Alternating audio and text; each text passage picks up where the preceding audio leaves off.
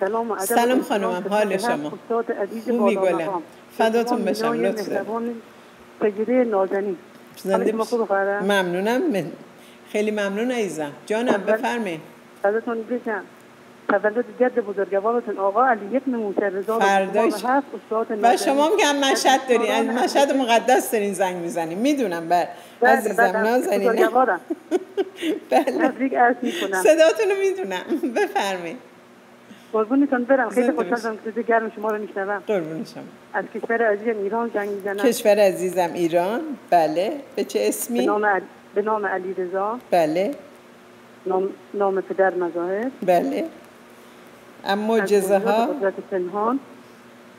مریم خانم 18 ساله که سرطان داشتن. بله. خدا و دعای هفت استاد عزیز. شفا پیدا کردن و ازدواج کردن. بعد از ازدواجشون سرپرستی تو فرزندم به عهده گرفتن. بله. مرسی عزیزم. عبادت برای چی می‌خوای خانم؟ برای سلامتی آرامی خدای مهربان سلامتی و آرامش رو بهتون هدیه کنه عزیز. فداتون بشم خواهر عزیزم جانم. من از طرف پسرم دو تا پسرم و شوهرم شما حتی سلام و تبریک دارم. بعد. اجازه اگه بفرمایید چند خط شعر به من گفتن اگه اجازه بدید خیلی کوتاه تقدیم حضورتون کنم. بفرمین عزیزم بفرمین نازنینم جانم. این, این راه چه خوشمنظر و نیکوست وقتی که دل در پی دیدار تو. تو قریبی و قریب نوازی کار تو.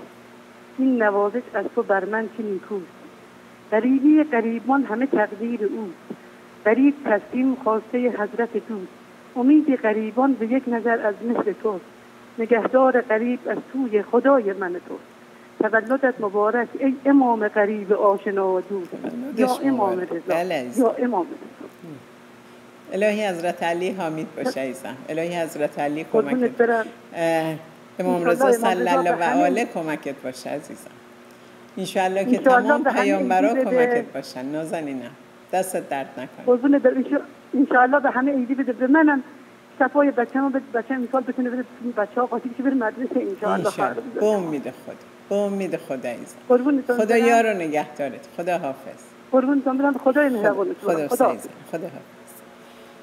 انشالله که امام رضا رضواتو برآورده کنه. نازنینم عزیزم از بیننده های قدیممون هستی.